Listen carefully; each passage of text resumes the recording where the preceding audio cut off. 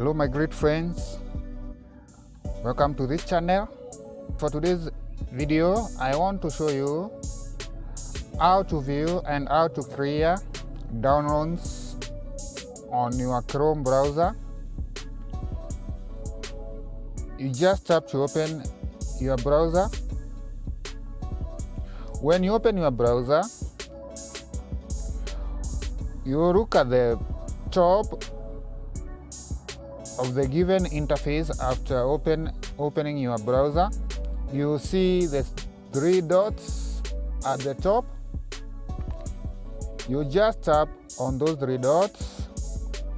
Then you get another section where you are supposed to tap on downloads.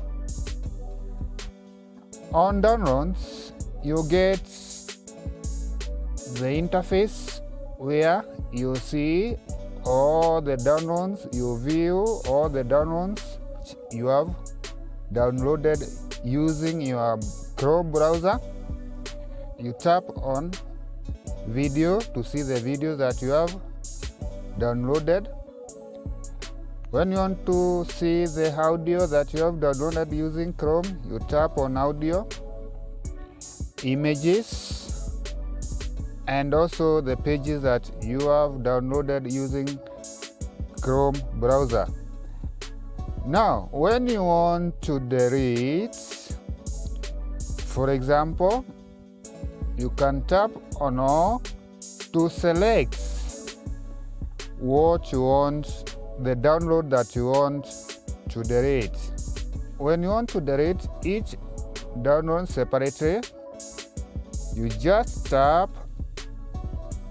on these three dots on the side of the download.